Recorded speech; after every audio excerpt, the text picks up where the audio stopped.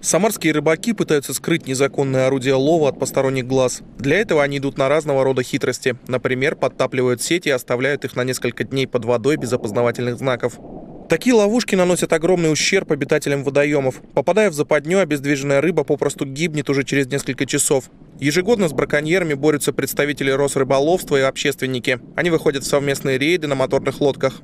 Мы, как правило, проверяем а, состояние наших рек. Река Самара, река Волга, стрелка реки Самары. И, соответственно, мы в обязательном порядке смотрим, а, не установлены ли орудия браконьерского лова.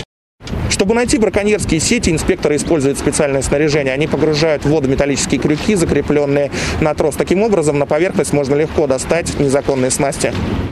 По словам сотрудников Росрыболовства, за последнее время число нарушителей в Самаре резко сократилось. Законы ужесточили, и люди попросту боятся рисковать свободой и кошельком. У нас предусмотрена административная ответственность по статье 8.37 части 2 административного кодекса Российской Федерации. И если у нас ущерб является крупным, то у нас предусмотрена уголовная ответственность по статье 256 Уголовного кодекса. Спустя несколько часов участники рейда все-таки нашли браконьерскую сеть. Рыбаки спрятали ловушку в укромном месте. Вот такой сегодня у нас улов.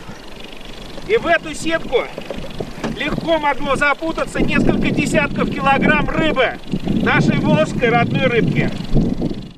В этом году представители общественности и сотрудники надзорных ведомств проведут еще несколько совместных рейдов. Работа по поимке браконьеров в Самарской области продолжается. Анатолий Головко, Николай Епифанов. События.